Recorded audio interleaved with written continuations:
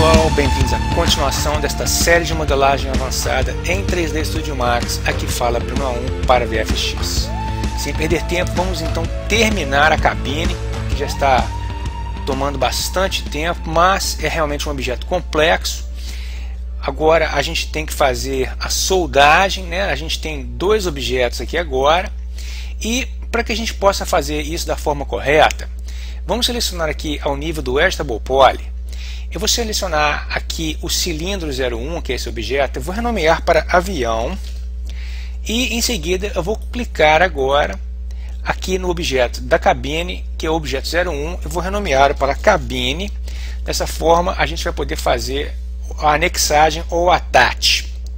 Que é o seguinte, é, se você der um zoom aqui, você vai ver que a, a, o posicionamento não está totalmente correto, então a malha não está fechada a gente precisa de fazer a soldagem tá, de todos esses vértices aqui que fazem o contorno, que vão fazer a, a, junção da cabine no corpo do avião. Para fazer soldagem, a gente não pode ter dois objetos separados. A gente precisa fazer o attach.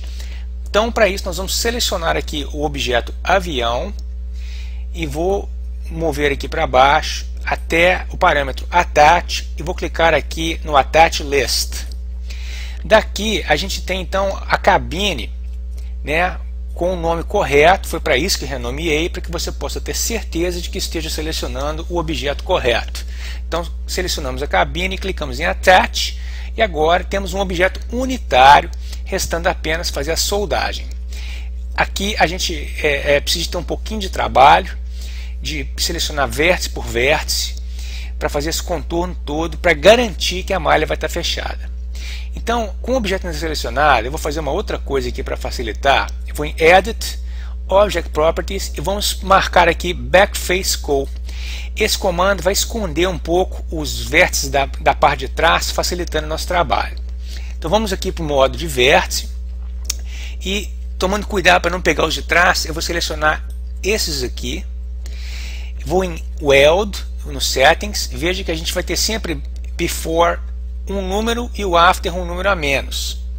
Isso garante que o comando vai funcionar. Dou OK.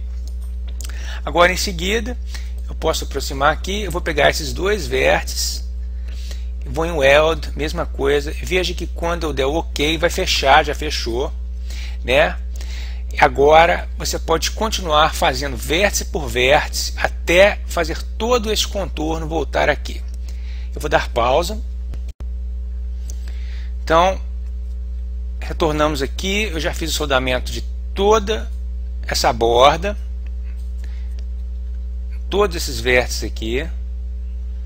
E agora a gente vai fazer o último detalhe, que é o inset, que é um comando novo que a gente não utilizou até então, para fazer a armação metálica da cabine e também o vidro.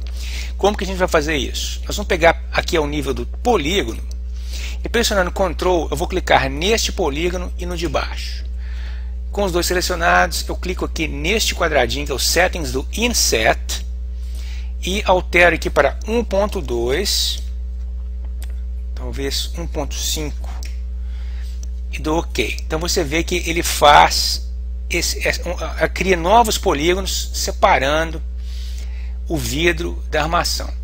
Agora eu vou passar para os dois de trás, vou dar Ctrl e vou no, de novo em Settings de Insert, 1.5 já fica marcado, eu dou OK. Então agora a gente vai fazer todos esses aqui e este aqui sozinho. Vou dar pausa. Então eu fiz todos esses aqui, inclusive o último que é sozinho. Vou girar o objeto, vou fazer esses três aqui da frente, veja bem quais. Vou selecionar aqui antes para que você possa ver. Selecionei esses três aqui. Vou dar o insert. Ok. E agora vou fazer a mesma coisa que eu fiz do lado de lá. Selecionando com Ctrl. De dois em dois até esse último aqui sozinho. Muito bem. Então temos aqui agora toda a parte de cima também com os insets e com isso a gente conclui a nossa cabine. Vamos dar um giro aqui para apreciar a nossa malha. realmente muito boa. Você viu que foi muito trabalho, mas valeu a pena, né? Então, finalizada finalmente a cabine, passemos agora à produção das asas. Vamos começar pela asa esquerda.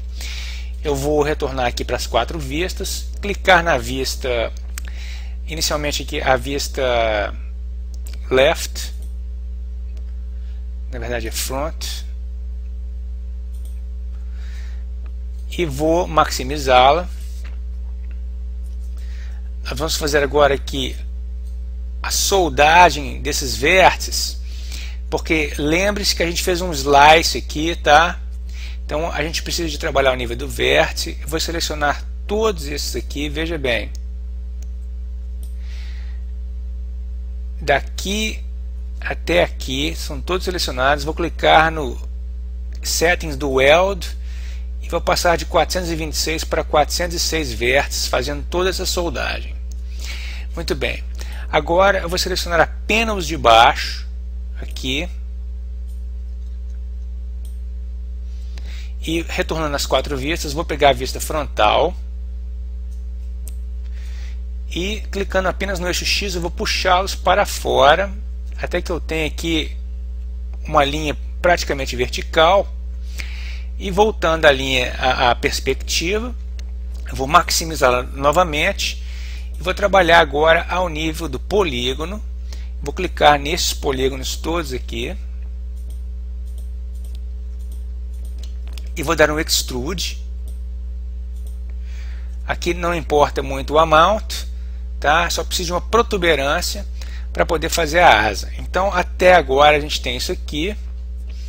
Resta apenas fazer agora é, a soldagem de alguns vértices, porque nós vamos precisar de ter o mesmo número de polígonos aqui e no, no box que nós vamos fazer para a asa, para poder fazer o bridge, que é o comando de junção. Você vai entender isso na hora que o comando aparecer. Por agora, voltemos ao nível do vértice e vamos trabalhar com Target Weld. Preste atenção no que eu vou fazer aqui. Você vai fazer os mesmos comandos. Vou trazer este para cá e o de baixo também. Tudo que eu fizer em cima se repete embaixo. Vou levar para o centro e o de baixo também. Aqui nós fazemos a mesma coisa. Não se esqueça, eu estou com o Target Weld ligado. Agora aqui a gente leva para a borda. E finalmente,